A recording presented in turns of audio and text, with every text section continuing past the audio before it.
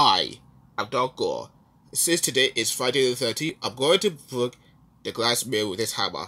Ha ha ha ha ha ha ha ha ha ha.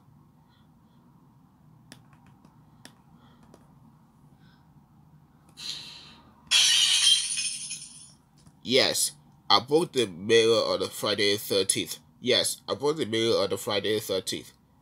Dark Goro, did we just heard that you broke the mirror on the Friday the 13th? Oh crap, it's my parents. You better tell us the truth right now. Um, um, um, um, um, um, um, um, um, um. Yes, I broke the mirror on Friday the 13th.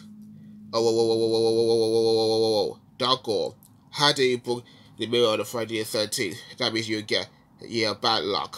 That's it.